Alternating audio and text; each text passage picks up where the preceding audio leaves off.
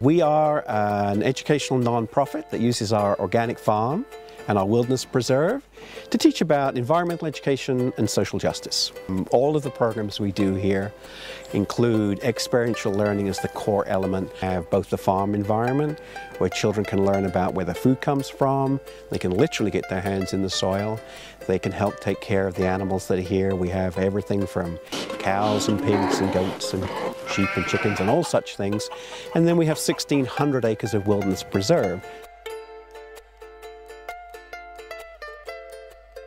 We are an educational group that teaches kids about the marine environment and how they can become stewards and protect the environment that they're learning about. So after we get on the boat um, and have an introduction to um, the watershed and the water that we're going to be studying. So the first station would be the fishing station, getting that very physical, hands-on experience and you know seeing what you caught. They're identifying them using tools. At the hydrology station, we also talk about how human trash and waste can affect the water. More things should be recycled or put to household hazardous waste where they can be dealt with in a safe way.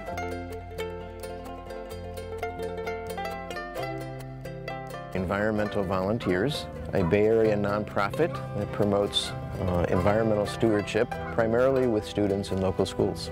For the past 40 years, the Environmental Volunteers has delivered science programs. We deliver a two-hour program. Some of our classrooms we take out on a follow-up field trip to a nature preserve. The Environmental Volunteers is a group of uh, dedicated people who uh, are committed to working with children such that they will learn about science, learn about their environment, and ultimately protect it. The program involves uh, in-class component where volunteers and our staff go into a classroom and orient kids to wetland ecosystems, the birds that would be found there, issues about recycling and pollution and everything you could think of that you would want to teach somebody about the environment. And then we load the kids up on a bus and we take them out to a wetland ecosystem and we take a look at real time what's really happening out in the ecosystem. Have day camp program during the summer and we have an outreach program for students kindergarten through 12th grade who can come up and use our science lab. They're learning about nature, about natural sciences, using outdoor setting as a context for their learning. We're able to impart our sense of love of the environment and teach them about the plants and animals so that they go away from us with a new respect for them and they understand how important it is that they take care of them when they go home. A classroom, you're so confined to those four walls, and especially with science, it's so nice to be outside. And I find that kids here really want to be here. They really want want to learn as much as they can. They're like little sponges. And sometimes in the classroom it felt like I was really forcing it onto them. Trying to learn science, or really any interactive subject, out of a book is like trying to learn how to play the violin out of a book. It's just not effective. And so when we're able to bring hands-on, place-based programs to students that complement and support what the teachers are teaching in the classroom, the teachers tell us, hands down, that it makes the learning come alive. And you can see that in the faces of students.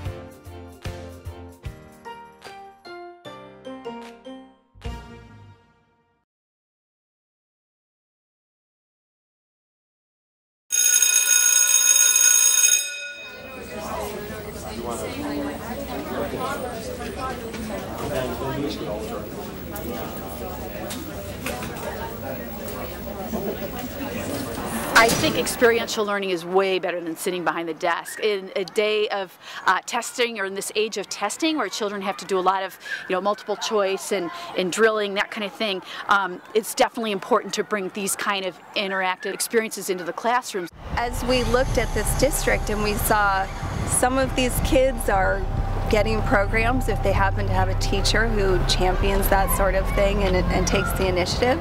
Other kids aren't. Some kids get it one year and not another year. There's a lot of inequity. Our students cannot afford to put over the 5 to 13 15 dollars that it takes to get a bus go to a program pay for the program to happen we would be lost to just be digging into the textbook since we have you know about half free and reduced lunch children that are of low income and a variety of students who don't have many experiences outside of the city. Kids in, in our area get very little hands-on science experience or one-on-one or first-hand science experience. As a foundation, I see proposals from, from nonprofit organizations all the time.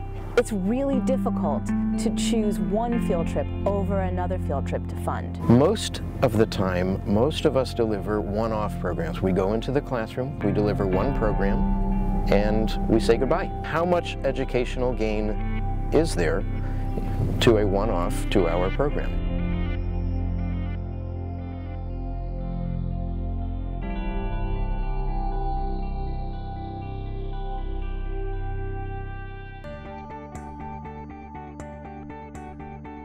A teacher may look for a field trip or a community activity to help students meet a particular education content standard.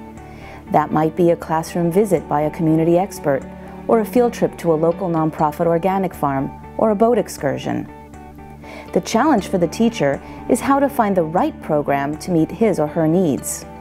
For the nonprofit, it's how to fund these trips for under-resourced schools and demonstrate that their single-touch field trip results in the kind of educational impact that funders and school administrators demand.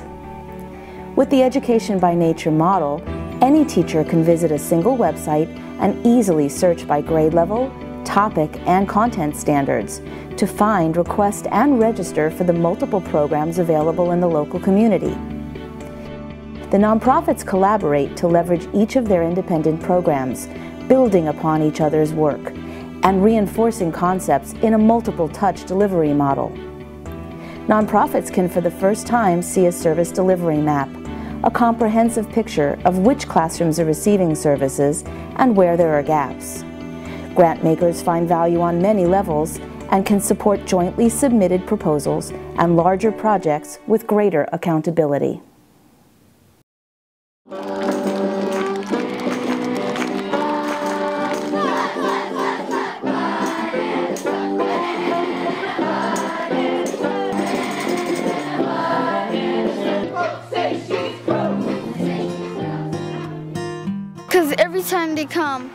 I always get excited. We came up with $100,000 for our first two-phase program and now we have this subsidy uh, for busing for, for all of these kids that, that can go on field trips. Instead of like someone telling you what it's like, you get to ex actually experience what it feels like to be out here by yourself. That, that this has opened up a world of funding opportunities that we would not have had um, if we were not collaborating. What we'll be able to say is that students who participate in these programs have increased their science achievement as measured by fifth grade science test scores, as well as these students have increased their environmental awareness and their stewardship behaviors. Before Science by Nature, our students in fifth grade science on the CST, California State Standards Test, were at 40% proficient. So 40% of our students showed that they understood the content in the curriculum. Now, our students are at 62% proficiency and above. I get to learn better because uh, I, I get to see and touch and feel. As a result of participating in the collaborative, YSI was able to achieve one of its strategic objectives, which was to reach more at-risk kids, more Title I kids on free and reduced lunch program. We were able to do that because of the leverage of the partnership as well as the funding that came with that partnership. The services that were available in the region were uncoordinated previously. Each program was excellent and each program was content-based, but having a teacher be able to access all of those programs and be able to actually quantify the results that were coming out of those programs that didn't exist before Science by Nature. Us working together, I think we have improved um, all of our programs and have all been able to increase the number of students that we can get involved with um, at a reduced cost. What I really like is not having to have a, these schools can afford to pay these maybe we can fundraise for scholarships, maybe we can't, rather than the program starts with an implicit assumption everybody will participate and everybody will participate equally. It's perfectly uh, in line with what we do in this district, um, really providing uh, excellent education to all students. I was able to sponsor two underserved classes to go out on these boat field trips. I think if I have impacted any of them in any way, I just that's the greatest feeling in the world. It's simply taking whatever is in the area and leveraging it all together. Each nonprofit does exactly what it loves to do, exactly what it's always done, just better together. I would like to, I would thank them um, if they could do another one like this. Thank you for teaching me all this useful information that I might need to know when I grow up. By collaborating with other nonprofits that are teaching environmental education, we're able to connect that trip to the mountains, to that trip to the farm, to the trip to the beach or on the bay, and how these communities are all connected and how we treat one affects all of them.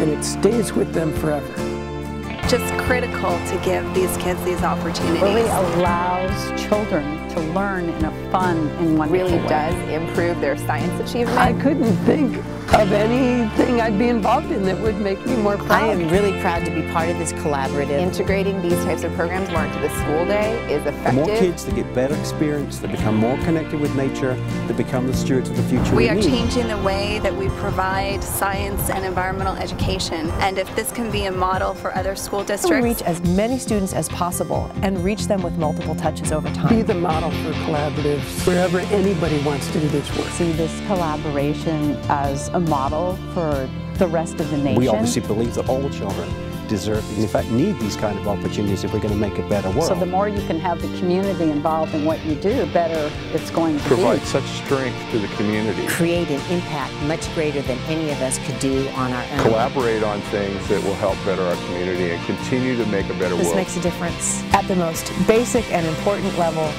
of impacting our kids. Throughout the nation, we can have collaborations all over to reach as many kids as possible.